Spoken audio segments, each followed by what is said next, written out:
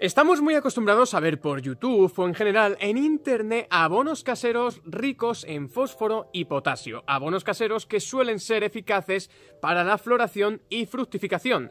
¿Qué ocurre? Que ya he visto por Internet que está demasiado lleno de todos estos abonos.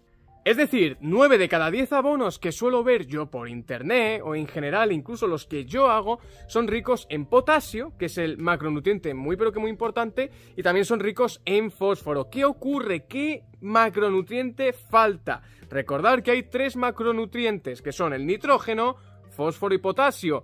Y de normal siempre carecemos del macronutriente del nitrógeno. ¿Por qué? Porque a la hora de encontrarlo en los alimentos es muy complejo. ¿Por qué ocurre esto? Porque obviamente los frutos se generan a partir del potasio y del fósforo en mayor cantidad. Entonces, realmente hay muy pocos abonos ricos en nitrógeno. Pero en este vídeo va a cambiar la cosa totalmente. Porque te voy a enseñar un abono que es 100% nitrógeno. Has oído bien.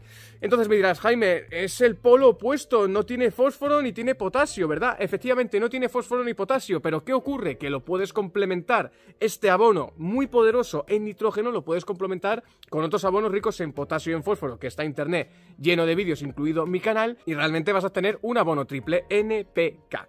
Así que sí, en este vídeo te lo voy a enseñar cómo debes de hacerlo, y la verdad es que es súper fácil, vas a tardar alrededor, vas a tardar unos días porque tienes que esperar pero en general en hacer la mezcla vas a tardar un minuto. Así que bueno, una vez dicho esto, muy buenas mis queridísimos espectadores, yo soy Jaime y esto es Huerta Forestal y ya sabes, no olvides comentarme desde qué país o región me estás viendo, suscríbete si no te quieres perder futuros vídeos y déjame un me gusta. Así que bueno, una vez dicho esto, vamos a ver ya de qué se trata este abono rico en nitrógeno, pero antes de nada te voy a enseñar también los beneficios y cada cuánto debes de aplicarlo. El nitrógeno es de vital importancia en nuestras plantas, es el macronutriente que hace que tenga este verdor, que hace que crezca en general. Es como la cafeína tuya más o menos de por las mañanas por ponerte una analogía bastante mala, pero para que lo entiendas. Es como la energía que necesitan las plantas para generar las hojas, ¿no? Entonces, ¿cuándo deberías de echar este abono? Imagínate que tienes un huerto, que tienes tomateras. Este abono lo que más te recomiendo es echarlo una vez por semana cuando acabas de trasplantar las tomateras, cuando las tienes así como las que estás viendo ahora mismo, para que vayan creciendo, para que vayan cogiendo fuerza gracias a ese macronutriente del nitrógeno. Una vez comience la floración, como estás viendo ahora mismo, o comiencen los frutos, ahí ya te recomiendo que no eches tanto este abono y que ya cambies más a los siguientes abonos ricos en potasio y fósforo que al final de este vídeo te voy a estar dejando. Pero sí, prácticamente, ¿en qué va a beneficiar este abono a tus plantas? Te lo acabo de explicar va a generar muchas hojas nuevas y un mayor crecimiento, ¿vale? No va a generar como tal frutos ni fructificación, ni que sean los frutos más grandes, no, va a generar crecimiento, por lo tanto también es un abono que podemos echar a cualquier tipo de planta interior o planta incluso ornamental, que suelen ser plantas a lo mejor como es la que estás viendo ahora mismo, que son de colorines, etcétera, este abono le va a venir genial.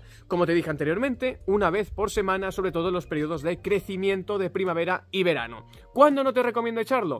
Durante los meses de otoño o invierno. Las plantas están más paradas y te recomiendo que lo eches una vez al mes, ¿vale? Ya que las plantas no requieren de tanto nitrógeno. Así que sí, simplemente esa es la explicación. Vamos a ver ya cómo hacerlo y una vez veas las dosis y todo, pues ya prácticamente eh, habrás concluido el vídeo. Así que nada, vamos a ver ya la parte final sobre cómo hacerlo rápidamente. Vamos a verlo. Muy bien, y para aprender a hacer este abono rico en nitrógeno, te voy a enseñar los materiales que vas a necesitar, que ya te adelanto que son súper básicos, súper baratos y simples. Lo primero que vamos a necesitar es un barreño como este de por aquí. Me dirás, madre mía, Jaime, vaya barreño, lo sé, este estaba cuando me mudé donde estoy residiendo ahora. Es un barreño bastante viejo y ¿por qué te recomiendo que sea un barreño viejo? Porque luego se va a manchar bastante. No es la primera vez que lo hago y lo hice alguna vez en algunos barreños nuevos y finalmente se manchan bastante. Así que te recomiendo que si tienes alguna cubeta, algún cubo viejo, incluso una garrafa de 8 litros, la cortas y puedes hacerlo, adelante. ¿Cuál es el ingrediente principal que tiene este abono? Te lo enseño ya mismo. Muy bien, y este es el ingrediente principal de nuestro abono rico en nitrógeno. Como veis son los restos de cortar el césped este que estáis viendo por aquí. Estos son los restos. Recordar que ya subimos un vídeo sobre los usos que tiene los recortes del césped. Y además también tiene este maravilloso uso que es usarlo como abono. Así que simplemente, ¿qué es lo que vamos a necesitar? Los recortes del césped y las dosis son así de simples. Por aquí tengo la carretilla, hasta que estáis viendo por aquí, acabo de cortar el césped, así que lo vamos a ir así desmenuzando. Me dirás, Jaime, ¿puedo hacer esto con, por ejemplo, lo que me sobra de cortar los hierbajos o las malas hierbas? Te recomiendo que no, porque no es lo mismo. El césped es más rico en nitrógeno, al final es una hojita que contiene prácticamente todo nitrógeno. Entonces, vamos a estar echando los restos del césped, más o menos, como estáis viendo ahora mismo, hasta la mitad del barreño. Vamos a quitar, hay trozos de plástico que no sé ni qué hacen por aquí, lo vamos a estar quitando y como veis lo vamos a dejar hasta mitad del barreño.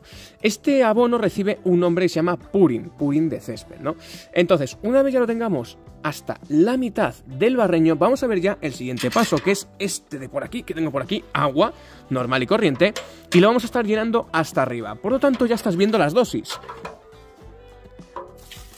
Las dosis son mitad césped, mitad agua. Así que vamos a rellenarlo así hasta arriba. Si nos falta un poquito, ahora lo voy a terminar de rellenar, como estás viendo en este plano, que la verdad es que faltaba un poquito. Como vemos, ya está así, ya tenemos por aquí nuestro abono. ¿Y ahora qué es lo que necesitamos hacer? Te lo cuento.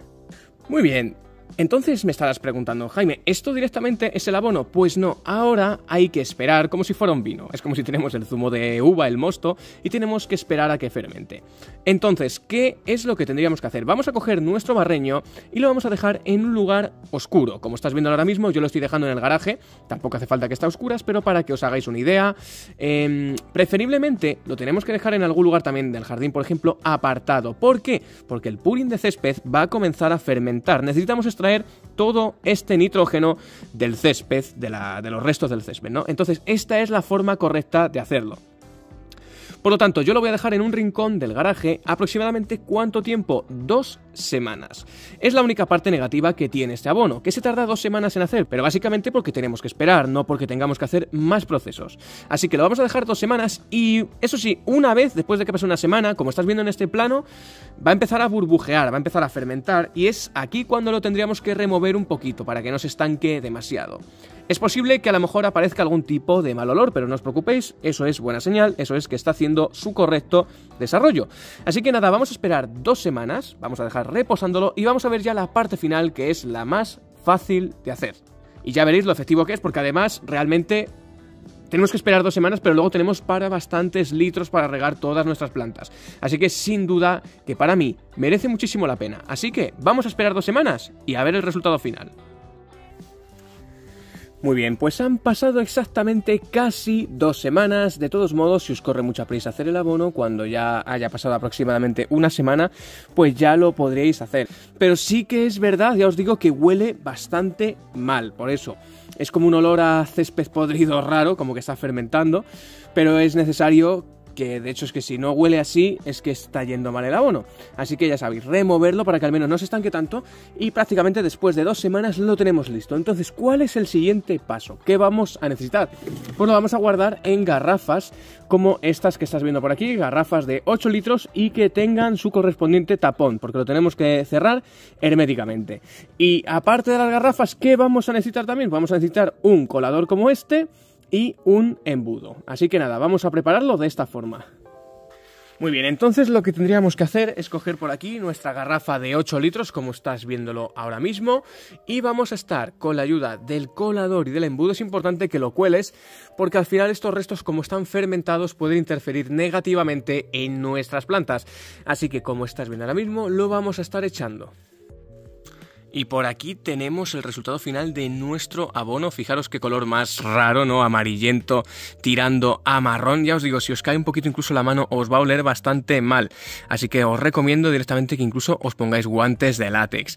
Entonces, ahora, ¿qué es lo que tendríamos que hacer? Pues como estás viendo ahora mismo, yo estoy regando mis plantas de tomate, melón, sandía, pepinos con este abono, ¿vale? ¿Cómo lo tendríamos que regar? Pues como estás viéndolo ahora mismo.